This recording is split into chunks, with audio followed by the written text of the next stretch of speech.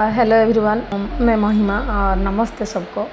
तो एक बहन ने रिक्वेस्ट किया है पिम्पल्स के लिए कुछ बोलने के लिए और हिंदी में ट्रांसलेट करके बोलने के लिए। तो मैं हिंदी बोलती हूँ तो मुझे इतना ज़्यादा हिंदी क्लियर में नहीं बोल पाऊँगी, फिर भी जितना बोलती हूँ तो मुझे लगता है कि आपको समझ में आ जाएगा। पिम्पल्स तो पहले बॉडी को क्लिनजिंग करना पड़ता है। बॉडी क्लिनजिंग कैसे होगा?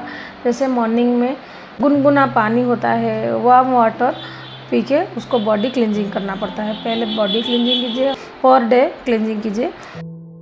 नीम का पत्ता जो छोटा छोटा होता है, उसको ले आइए तीन ब्रश करने के बाद, और गो, जैसे काली मिर्ची, उसमें से छः सात, और नमक थोड़ा, उसको चबा चबा के खाना है।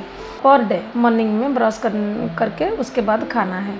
और उसके बाद ना सुबह हो या शाम, दो टाइम ऐसे रिच फिल सोप देखिए।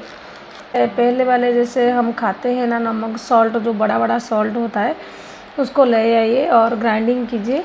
उसके बाद नींबू नींबू को काट लीजिए, नींबू के अंदर वो नमक डाल के घिसिए। Five five ten minute five minutes घिस के फिर छोड़ दीजिए फाइव मिनट्स उसके बाद फेस सो कर दीजिएगा। उसके बाद कोई भी एलोवेरा जेल लगा के सो जाइएगा। सच्ची, पक्का वाला प्रॉमिस है। आपकी स्किन में ना टू मंथ थ्री मंथ के बाद कोई नहीं बोल पाएगा कि कभी पिंपल्स था।